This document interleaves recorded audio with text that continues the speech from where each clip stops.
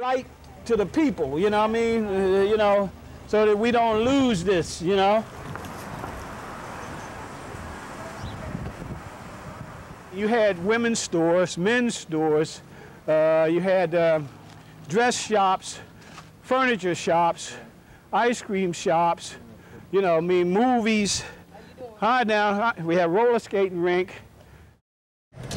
This side of 40th Street is called Mantua. Right. On this side of 40th Street is Belmont. Where anything below 40th Street was called the bottom, anything above 44th Street was called the top. Right. This used to be a live chicken place, just like 9th Street. You could go in here, get your live chickens.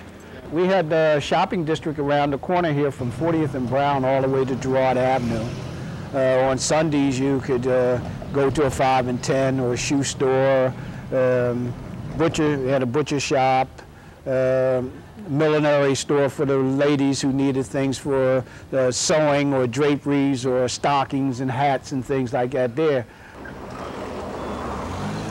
42nd Street Bridge, the Belmont Avenue Bridge, and this bridge and the 41st Street Bridge. Now the 41st Street Bridge is closed because it needs work on it and nobody's taking the, the initiative. All these trees were all trimmed and all, and a lot of the Folly Vines people used to sit out here and relax when they were through their day's work.